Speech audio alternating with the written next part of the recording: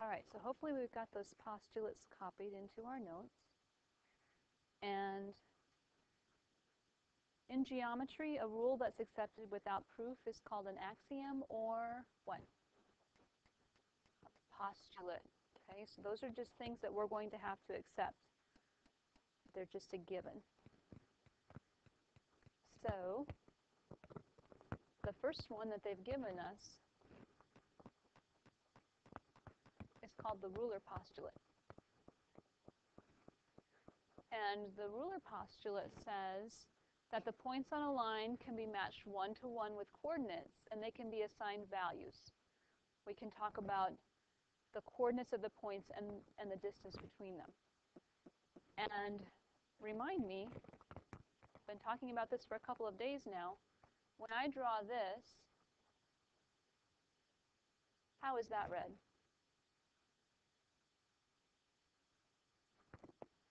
What does the symbol above it mean? Line AB, right? When I draw this, what does that mean?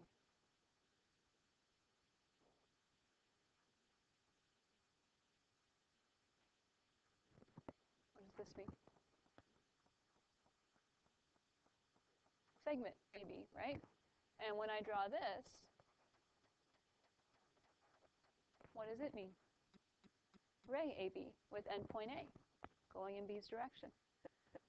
So what does it mean when I write this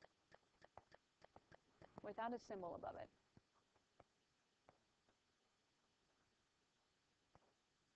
Points, coordinate, we're not quite sure. Well, us mathematicians are notoriously lazy. We do not like to write things out in longhand. And so we come up with symbols to make things easier to write. And this means the distance between points A and B. So we can't just read it as AB. When we see it, we have to say it aloud as the distance between points A and B. Just as we say that this is line AB, segment AB, and ray AB. Ready to go with that? It's an easier way to say it than having to write it all out. Okay? So, if I ask you to find this, what am I asking you for? Yeah, the distance, the distance between those two points.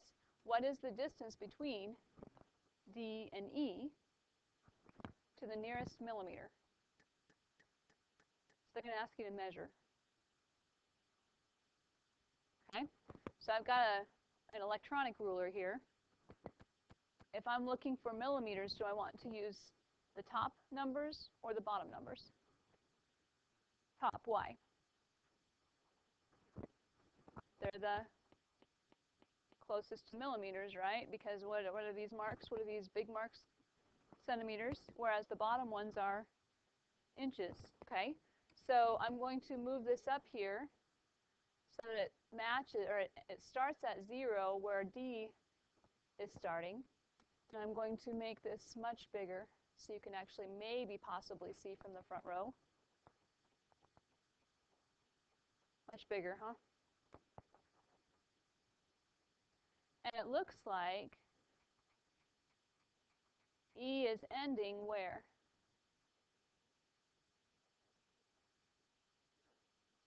Seventy-three, okay? Seventy-three millimeters. Does that make sense? Not 7.3, because 7.3 would be corresponding to the centimeters, right? And they're asking for 73 millimeters. Or they're asking for meter, millimeters, not centimeters. Is everybody good with that? So when you have get to the point in your book where they ask you to measure a segment, you're going to pull out a ruler. I've got some that I can loan you and measure it up. Okay? All right. Then the next one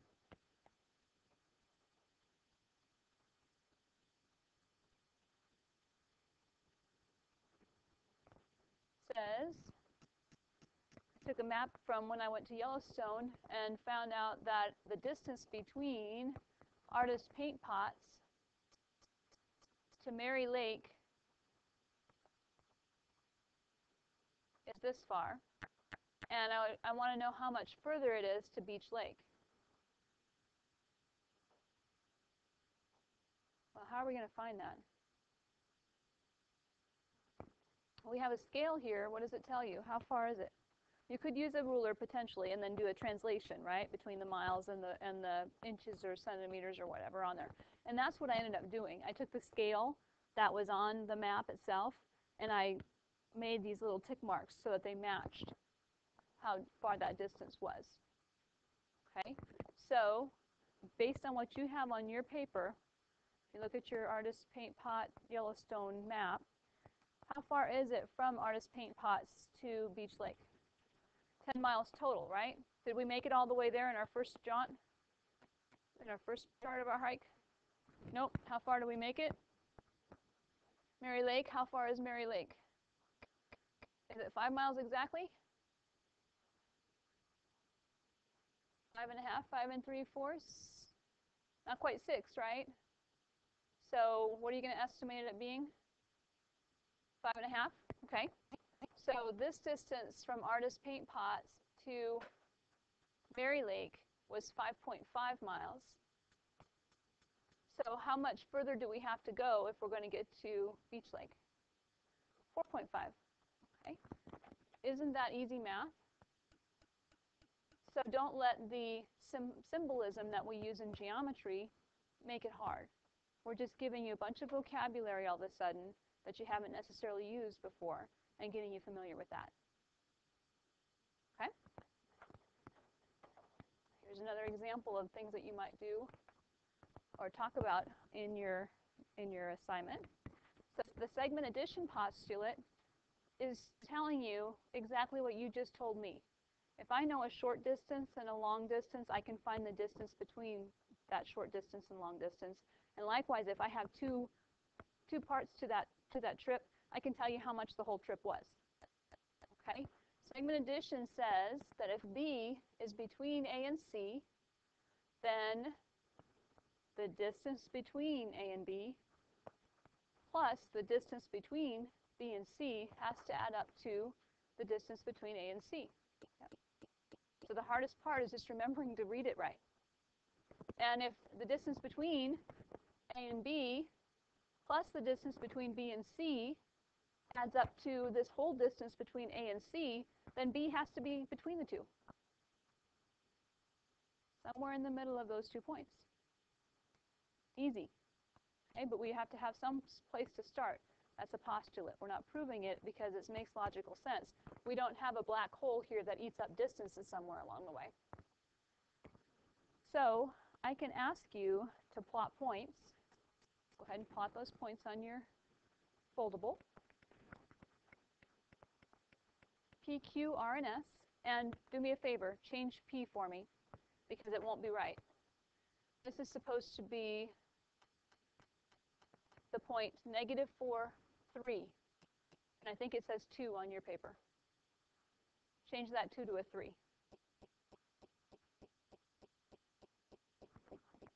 So P is the point negative 4, 3. And Q is the point 3, 3. We want to plot those points. And whenever we make a point, we how do we show a point? By a capital letter, a dot with a capital letter. So don't forget to label them properly.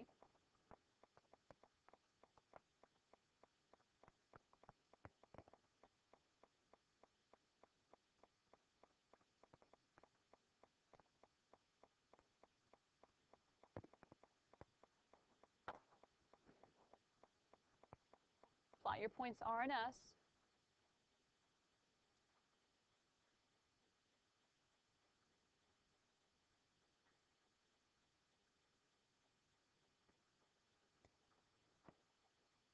and then determine whether segment PQ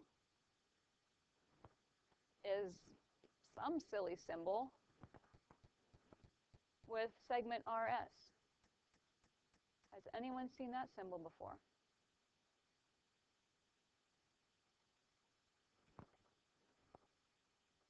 No. Looks kind of crazy, doesn't it? So they've introduced a new symbol. Kind of looks like pi, doesn't it? It would be pi if we had this squirrely guy above. vertical equal signs, right? You think?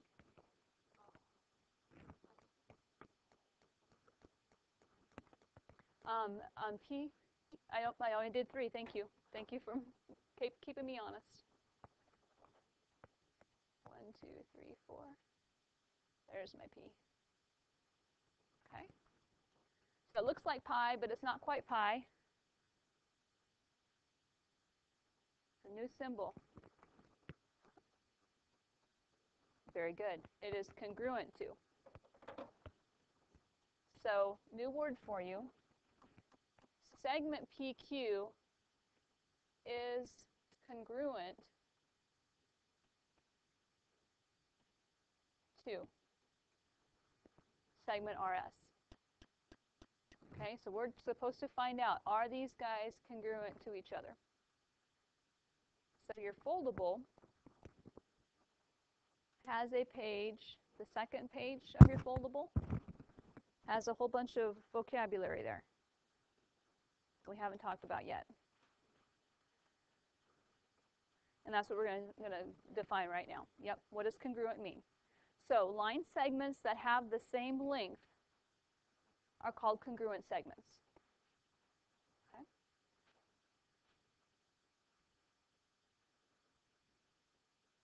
And the lengths or distances between their respective points are equal. We talk about lengths being equal, but segments are congruent.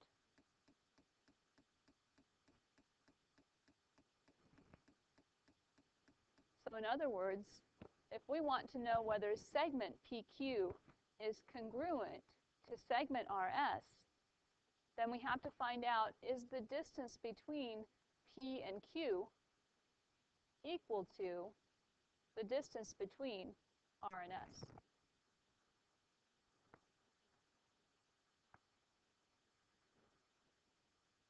And I see that Josh is shaking his head no.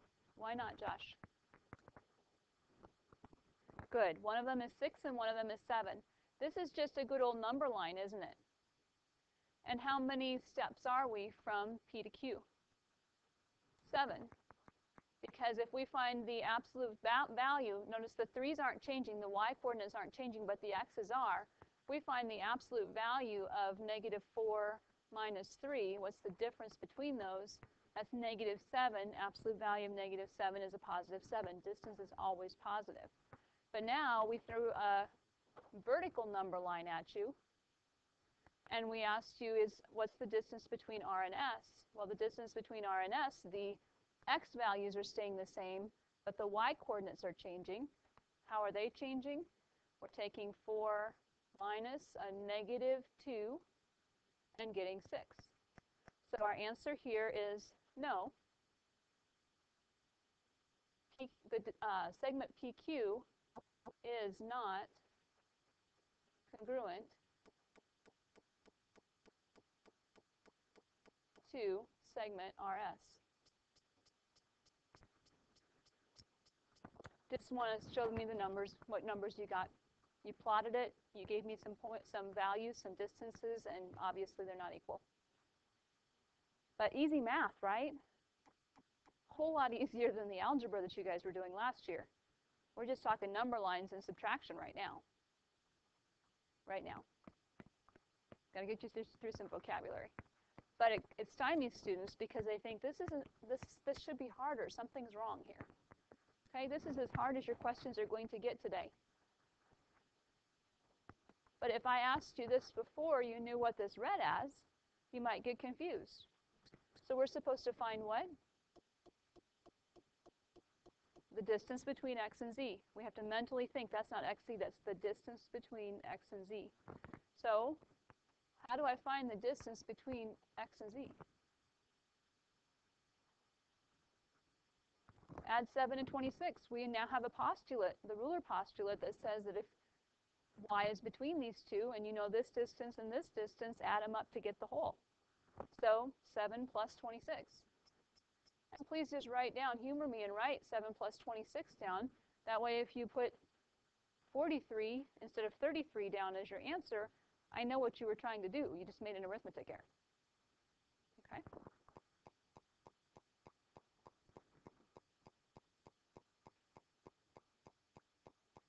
And likewise, if I want to find this, how is it read?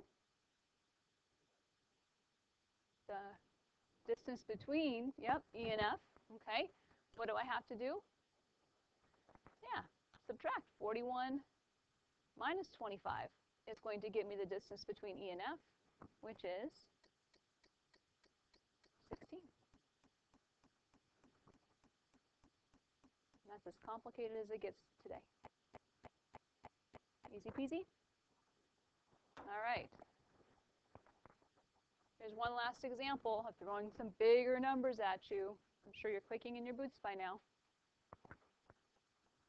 But we can ask you, okay, if the distance between Oklahoma City and St. Louis is 499.2 miles, and the distance between Oklahoma City and Springfield is only 286.2 miles air travel, right? How far would it be between Springfield and St. Louis? And how'd you get it? Subtract, yeah. Take my total distance and take away the distance between Oklahoma City and Springfield. And it even nicely right, lined up perfectly. Your twos, your two tenths go away. And we'll make sure we put a label here.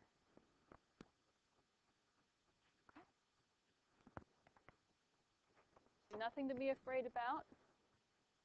I'd like you to take page, um, the first page, the one with the ruler postulate and the segment addition postulate, and I want you to glue or tape it, I've got glue sticks now, to the uh, page 9 of your student journal, obviously not your textbook, your student journal. We're going to put these on page 9, and the other one is going to be on page 10 of your consumable book.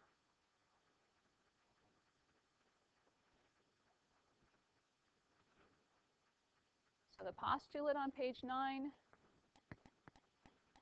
the graph on page 10,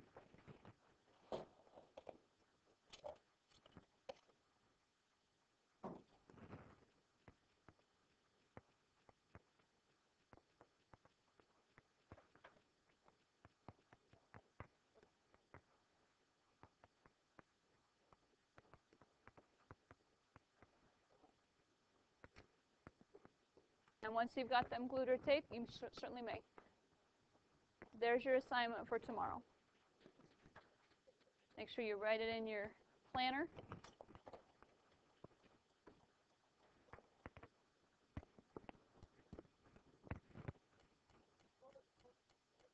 And this is the hardcover book, yes. This is actually your textbook.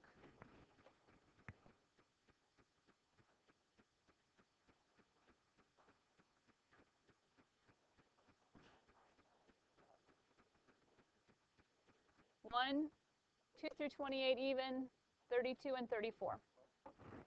Get you guys some glue sticks otherwise too.